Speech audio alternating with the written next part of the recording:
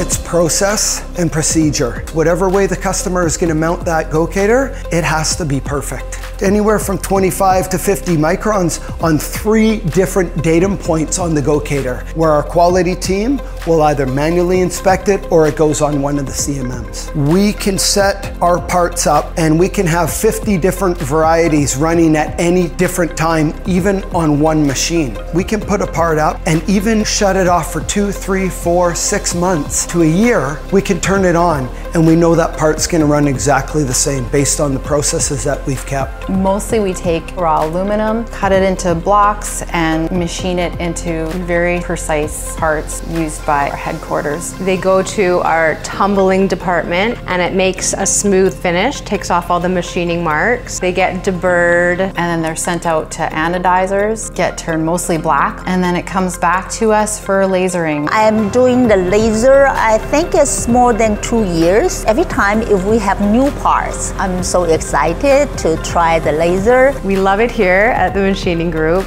We have a great group of people. Everyone just gets along so well. We do barbecues in the summertime, team building events, working together towards our common goal of making like the best parts that we can. I feel free to learn as much as I want to and as much as interests me. And then I also feel like I'm in an environment with a team who feels the same way. We're all eager to learn new skills, new technology. We're a progressive group who are really generally interested in what we're doing. All kind of jobs in here, I like it because of co-workers. Anytime you need help, they are always there for you. That's why I think our whole company is so productive. I love my job. I love the people that I work with. We kind of get the best of both worlds, you know, working for a tech company, but also having that smaller shop feel. The last five years, we've had three new machines already. It's grown quite a bit. We had like one shelf of inventory that we kept, and now we have four. We got the Robo Drill. Now we can go faster and better quality. It allows us a really efficient operation where we can load a large amount of parts and have the machine process them unattended, but it's also very configurable so that it can respond to the different demands of orders. I never thought when I started here as a deburred that I would be planning the machines and managing a team. We love to transfer our knowledge. Give me your ideas. Let's talk about it. Let's share information. Let's grow everybody at the same time.